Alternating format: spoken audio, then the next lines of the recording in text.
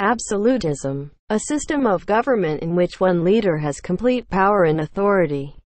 Saudi Arabia is ruled by absolutism. In 2015, King Salman was the absolute ruler.